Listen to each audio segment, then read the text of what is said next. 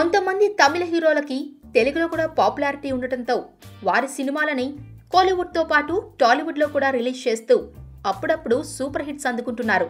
ఈ వారం అదే తరహాలో అదృష్టాన్ని పరీక్షించుకోబోతున్నారు ఇద్దరు తమిళ స్టార్ హీరోలు. వాటితో ఒక తెలుగు సినిమా కూడా పోటీ పడబోతోంది.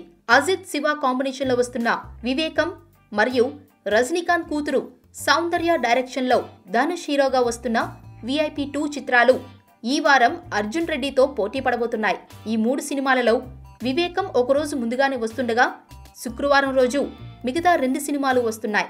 ఈ మూడు సినిమాలలో ధనుష్ విఐపి టూ అంతగా ఆకట్టుకోకపోవచ్చు. ఎందుకంటే తమిళ ప్రేక్షకులు ఈ సినిమాను అంతగా ఇష్టపడలేదు. రఘువరన్ బీటెక్ సినిమాతో తెలుగులో మంచి హిట్ అందుకున్న ధనుష్ దానికి కొనసాగింపుగా వస్తున్న విఐపి టూ తమిళ్ళో బిలో యావరేజ్ స్టాక్ తెచ్చుకుంది.